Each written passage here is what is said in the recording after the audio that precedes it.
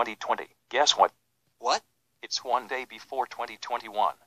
Which means no more of your chaotic behavior. Wait, really? I haven't even finished what I have started here. Good. Now adios. Uh